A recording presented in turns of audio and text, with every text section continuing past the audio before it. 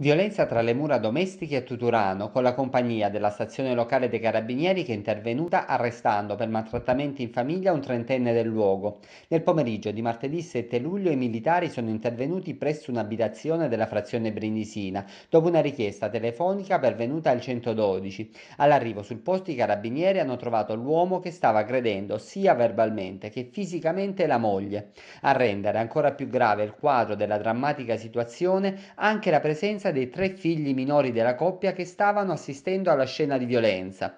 La discussione sarebbe nata per futili motivi, con la donna che sarebbe stata colpita con vari pugni, riportando lesioni al volto. Al termine delle formalità di rito e a conclusione degli accertamenti portati a termine dai carabinieri della stazione di Tutorano, l'arrestato è stato sottoposto alla misura cautelare degli arresti domiciliari presso un'abitazione diversa da quella familiare. Un grave episodio di violenza che ovviamente rimette al centro in tema della violenza domestica e di genere, aggiungendo un ulteriore elemento di criticità rappresentato dalla presenza di minori costretti ad assistere a questi episodi.